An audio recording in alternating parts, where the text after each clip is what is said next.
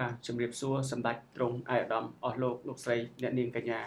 ប្រិយមិត្តដែលតែងតែគ្រប់គ្រងរបស់ទូទស្សន៍ធានអឹមតាំងពីដើមទីរហូតដល់ពេលនេះបាទហើយលោកបារាឮសូរតែថ្ងៃនេះមានព័ត៌មានដែលពិសេសពិសេសដែលពាក់ព័ន្ធនឹងសកលវិទ្យាសកលវិទ្យាល័យអឺសកលវិទ្យាល័យ Belty បាទបាទសកលវិទ្យាល័យអឺมันជារឿងពិសេសព័ត៌មានពិសេសអីទេបាទចូលរួមសោកស្ដាយបាទ កាលពីម្សិលមិញនេះខ្ញុំបានចូលជួបសម្ដែងការគូសំជាមួយនឹងអៃដាមលីឆេងដែលជាអគ្គនាយកបាទសកលជាឡៃ Belty Group បាទហើយក៏បានសំណេះសំណាលទៅចូលដល់រឿងថាកាលពីម្សិលមិញគាត់សួរសុខទុក្ខដល់សិស្សអឺម្នាក់ ដែលឈ្មោះបញ្ញាហ្នឹងណាដែលធ្លាប់កាលពីកន្លងទៅធ្លាប់ជួបគ្រោះថ្នាក់ចរាចរណ៍បាទអឺរហូតដល់បាត់ការចងចាំបាទបាទដូចបានជំរាបអញ្ចឹងលោកជីតាឃើញថាអ្វីដែលខ្ញុំឃើញវីដេអូដែលដែលដែលអៃដមបង្ហាញខ្ញុំមកហ្នឹងគួរឲ្យសង្វេគបាទគួរឲ្យសង្វេគត្រង់ណាគឺគាត់បាត់ភាពពិការភាពគេហៅថាពិការភាពបាទមួយជីវិតដែរបាទមួយជីវិតបាទ តាមការสนុំពររបស់គាត់គេថាសង្ឃឹមថាប្អូនសង្ឃឹមថាក្មួយ បានជាសះស្បើយនៅពេលណាមួយបាទនេះជាបន្ទុករបស់គ្រួសារក៏ដូចជាបន្ទុករបស់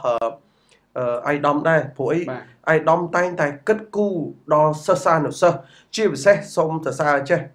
ខ្ញុំពីចិត្តខ្ញុំក៏ដូចជាប្រជាពលរដ្ឋទូទាំងប្រទេសសូមសរសើរដល់សាលាអឺ Belty បាទសាលា Belty នេះ ជាសាលាមួយនាំមុខគេឈានមុខគេមានទាំងអឺបានធានារ៉ាប់រងទៅដល់សិស្សានុសិស្សដែលចូលរៀនបាទបាទដែលចូលរៀនហ្នឹងគឺមានការធានារ៉ាប់រងអញ្ចឹងបានគេហៅថាហេតុអីបានសាលាជំរឹះរកមានបានធានាការរ៉ាប់ធានារ៉ាប់រង ពីព្រោះដោយសារអញ្ចឹងយើងអត់ដែរយើងយើងមើលឃើញការជួបគ្រោះថ្នាក់ចរាចរណ៍បាទ ឬក៏ប្រការណាមួយឥឡូវហេតុនេះបានជួបអញ្ចឹងការពីម្សិលមិញនេះលោកលោកអគ្គនាយកក្រុមហ៊ុន Forte ជាមួយនឹងអៃដាមលីឆេងព្រមទាំងសហការីអៃដាមទាំងអស់បានចូលជួបសម្ដែងគូសំក៏ដាក់នាំនឹងថវិកាមួយចំនួនបាទបាទសរុបទៅ3000ជាងដុល្លារឯណោះ បាទអញ្ចឹងក្តាប់ព័ត៌មានហ្នឹងលោកជីតាបានក្តាប់អ្វីខ្លះបាទបាទតាមពិតទៅមានការសោកស្ដាយបំផុតនៅក្រុមគ្រួសាររបស់ប្អូនបាទដែលលឺសូថាប្អូនជាសិស្សពូកែទៀតបាទបាទហើយជាចៃដន្យអាក្រក់ដែលប្អូនជួបនៅគ្រោះថ្នាក់ចរាចរណ៍នេះបាទបាទរហូតដល់បាត់ការចងចាំហើយនេះក៏ក៏ជាការទទួលខុសត្រូវខ្ពស់របស់អាដាមលីឆេងដែលគាត់ក្នុងនាមជាអគ្គនាយក Belty Group បាទបាទហើយអញ្ចឹងអាដាមតែងតែបង្កើតនៅកម្មវិធីពិសេសពិសេសដូចជាមានកម្មវិធីបង្កើតមូលនិធិ2000រៀលបាទបាទមូលនិធិ2000រៀលរបស់សកលវិទ្យា Live Belty Group នេះបាទបាទគឺថាប្រមូលបានថវិកាភ្លាមភ្លាមគឺ5000ដុល្លារនោះបាទជិត5000ដុល្លារជិត5000បាទហើយនៅមានការជួយឧបត្ថម្ភទៅដល់ក្រុមគ្រួសារដែលគ្នារងគ្រោះបាទបានច្រើនបាទ ខ្ញុំក្តាប់ព័ត៌មានកាលពីម្សិលមិញដែលអៃដាមមានប្រសាសន៍ជាមួយនឹងទូរទស្សន៍អនឡាញ TNM ផ្សាយជួបជំនួបផ្ទាល់ណានៅក្នុងការឧបត្ថម្ភនេះសូមជំរាបផងដែរថាកាលពីកន្លងដែលគាត់ជួបគ្រោះថ្នាក់ដំបូងណាគាត់ជួបគ្រោះថ្នាក់នៅប្រហែលជា4ខែ5ខែមុននេះបាទបាទជួបគ្រោះថ្នាក់ចរាចរណ៍នៅពេលយប់ទេម៉ោង8ល្ងាចបាទម៉ោង8ល្ងាចនៅក្នុងនោះអឺ សកលវិទ្យាល័យអឺលោកអៃដាមលីលីសវណ្ណបាទមែនទេលីតកោលីដែរបាទអៃដាមបាននាំថវិកាផ្ទាល់ខ្លួនណាបាទ1000ដុល្លារយកទៅដល់ពេលជួបគ្រោះថ្នាក់ដំបូងគ្រោះថ្នាក់ដំបូងបាទហើយបន្ទាប់មកក៏បានធ្វើគេហៅថាបង្កើតមូលនិធិ2000ដោយលោកមានសាប់អញ្ចឹងណាមានមូលនិធិ2000រៀលហ្នឹង2000រៀលហ្នឹងគឺ សង្ហៈទាំងអស់មានន័យថាសិស្សសានុសិស្សទាំងអស់អាចបរិច្ចាគបានក៏បានមិនមានថាវិការមិនអាចបរិច្ចាគបានក៏បានដែរអត់បញ្ហាដែរអត់បញ្ហាដែរប៉ុន្តែសូមតសើដល់សាលាថាមានគំនិតបង្កើតរបៀបអញ្ចឹងសរុបទាំង18សាខាទូទាំងប្រទេសគឺសរុបមកបានជិត5000ដុល្លារអីនោះបាទតាមរបាយការណ៍បាទជិត5000ដុល្លារអញ្ចឹងបានន័យថា2000រៀលស្មើនឹង5កាក់ មិនចឹងហ៎កាក់បានបាទ5 5កាក់អញ្ចឹងសរុបសិក្សាទាំងអស់សរុបទៅប្រហែលជាជិត10000នាក់តាមយើងគិតទៅបើ2000ក្នុងម្នាក់មិនចឹងបាទបាទ2000ក្នុងម្នាក់ហើយនៅក្នុងនោះឃើញថាអៃដាមតែងតែគិតគូរទៀតបាទអៃដាមតែងតែតែងតែគិតគូរដល់ក្រុមគ្រួសារហ្នឹងបាទហេតុអីបានគិតគូរដោយសារគ្រួសារហ្នឹងមានបន្ទុកមានបន្ទុកទំងន់ធ្ងន់ដោយសារ ក្នុងក្រុមគ្រួសារហ្នឹងឲ្យកូនគាត់ទៅរៀននៅសាលា Belty ទាំង3នាក់បាទប្រុសម្នាក់ដែលដែលទទួលរងគ្រោះហ្នឹងគ្រោះគ្រោះថ្នាក់ចរាចរណ៍ឯក្មួយស្រី2នាក់ទៀតនេះដែលឃើញនៅក្នុងរូបភាពនេះបាទក្មួយស្រី2នាក់ហ្នឹងឯកដំបានបកុលអាហារូបករណ៍100%ទាំងចំណេះដឹងទូទៅខ្មែរហើយនឹងចំណេះដឹងទូទៅអង្គភាសាអង់គ្លេសបាទបាទ សរុបថវិកាដែលឯកឧត្តមបានផ្ដល់អាហារូបករណ៍ជូនក្មួយស្រីទាំងពីរនាក់ហ្នឹងសរុបទៅជិត20000ដុល្លារបាទជិត20000ដុល្លារពួយ100%រហូតដល់ថ្នាក់10ទី10នោះបាទបាទបាទនេះជាជាទឹកចិត្តនិយាយទៅខ្ញុំខ្ញុំសែនរំភើបបាទគាត់ថាលឺថាគាត់ជួយជួយដល់អាហារូបករណ៍100%ដល់ក្មួយស្រីទាំងពីរនាក់ខ្ញុំចេញទឹកភ្នែកដោយមិនដឹងខ្លួនលោកជីតា ខ្ញុំចេញទឹកភ្នែកដោយមិនដឹងខ្លួនខ្ញុំសុខចិត្តខ្មោចខ្មាស់អាយដំណាខ្ញុំសុខចិត្តញីមុខគេថាឲ្យបាត់សន្សើមចេញទឹកភ្នែកចេញពីរង្វង់ភ្នែករបស់ខ្ញុំប៉ុន្តែអ្វីដែលអារម្មណ៍ដែលខ្ញុំទទួលបានគឺទឹកចិត្តរបស់ឯកឧត្តមបាទផ្ទាល់ឃើញថាឯកឧត្តមតែងតែគិតគូរទាំងនេះឯកឧត្តមគិតគូរទាំងក្មួយដែលក្មួយបញ្ញាហ្នឹងបាទបាទណាចូលទៅសួរសុខទុក្ខ ហើយ Forte Insurance នឹងបានជួយដល់ដល់ក្មួយបញ្ញានឹងគឺ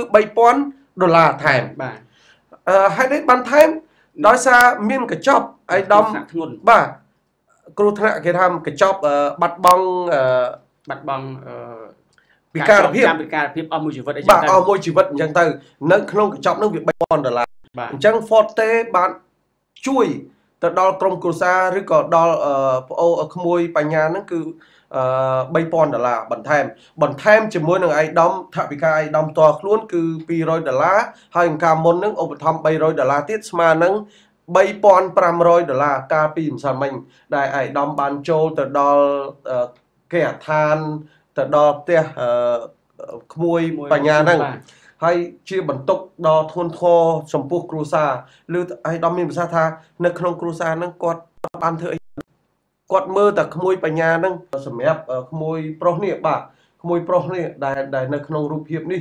អឺឃើញថាសង្វែកមែនតែនលោកតាសង្វែកមែនតែនតែម្ដងប៉ុន្តែទោះយ៉ាងណាសូមថ្លែងអំណរគុណពីខ្ញុំបាទជាមួយនឹងលោកម៉ែនស៊ីស៊ីតាតាមពិតលោកម៉ែនព្យាយាមព្យាយាមជួបអៃដាមច្រើនដងហើយប៉ុន្តែអៃដាមរវល់ប៉ុន្តែម៉ែលោកម៉ែនស៊ីតាសន្យាជាមួយខ្ញុំថា ពេលណាខ្ញុំទៅជួបអៃដាមម្ដងទៀតខ្ញុំនឹងទៅទៅតាមយកគាត់ទៅតាមនឹងជួបអៃដាមទៅដល់ការិយាល័យអៃដាមសូមសម្ដែងជួបសម្ដែងការគូសំបាទពីទូរទស្សន៍អនឡាញ TNM សរុបសេចក្តីមកខ្ញុំបានជំនួបជាមួយគាត់កាលពីម្សិលមិញមិនថែមទាំងការជួយដល់សិស្សសានុសិស្សដែលជួយជួយរងរងគ្រោះថ្នាក់ចរាចរណ៍នោះទេ គាត់ថែមទាំងគិតគិតតែធឿនបុរីគាត់ពីភាសាបាទឥឡូវធឿនបុរីដល់ណាទៅហើយបុរាអញ្ចឹងណាបាទហើយឮដំណឹងថាធឿនបុរីចូលមន្ទីរពេទ្យវះកាត់អឺយ៉ាងណានោះគាត់អត់បានដំណឹងឡើយទេបាទគាត់សួរសុខទុក្ខរហូតទៅដល់ជួយចង់ចង់ចង់មានកំណត់ជួយដល់ក្មួយប្រុសមួយទៀត ពេជ្រថៃពេជ្រថៃបាទគាត់សួរសុខទុក្ខបាទរ៉ាមិនអីពេជ្រថៃដំណើរការគាត់យ៉ាងណាដល់ណាដល់ណីហើយហើយតើពេជ្រថៃរៀនប្រកែទេ បើរៀនប្រកែអៃដំនឹងបកុលស្គាល់អាស៊ីបទៀតនេះទឹកចិត្តគាត់ទេណាប៉ុន្តែខ្ញុំវាបាត់ព័ត៌មានពេជ្រថៃមិនដឹងថាគាត់ទៅរៀននៅណាអីណីទេបើគាត់សួរខ្ញុំដោយសារខ្ញុំអាសា ជំនួបជាមួយក្មួយក្មួយពេជ្រថៃជាមួយធឿនបរិយលីគងអីចឹងណាបាទនេះជាជាទឹកចិត្តរបស់ឯកឧត្តមជាពិសេសដល់ក្មួយក្មួយសិស្សានុសិស្សទាំងអស់អញ្ចឹងសូមឲ្យក្មួយក្មួយសិស្សានុសិស្សទាំងអស់សូមប្រយ័ត្នប្រយែងនៅការធ្វើដំណើរកុំជិះម៉ូតូអឺតពីតពីបាទកុំផ្លាក់មួកសុវត្ថិភាពមិនចឹងបាទ អញ្ចឹងនេះជាកតបកិច្ចពេលជួបគ្រោះថ្នាក់ចរាចរណ៍ពីពិបាកអញ្ចឹងលោកជីតាបាទហ្នឹងហើយលោកបារាបាទអញ្ចឹងបានថាក្នុងនាមខ្ញុំជានាយកទូតធានអឹមបាទបាទជាលោកអគ្គនាយកសែមបារាបាទបាទដោយថាមើលឃើញទង្វើរបស់អាដាមធ្វើទៅចំពោះសិស្សានុសិស្សរបស់លោកបាទអញ្ចឹងសូមតាំងនាមខ្ញុំជំនួសមុខឲ្យសិស្សានុសិស្សទាំងអស់បាទបាទសូមថ្លែងអំណរគុណនិង លើកទឹកចិត្តដល់អាដាមថាបន្តការធ្វើវិនិយោគផ្នែកវិស័យអប់រំនេះបានអប់រំល្អបន្ថែមទៀតអ្វីដែលល្អអ្វីដែលល្អខ្ញុំខ្ញុំសរសើរសាលា Belty ត្រង់អីមានបានធានារ៉ាប់រងរ៉ាប់រងបាទពេលចុះឈ្មោះឃើញតែពេលចុះឈ្មោះឲ្យតែរៀននៅសាលាហ្នឹងគឺមានធានារ៉ាប់រងអញ្ចឹងបាទ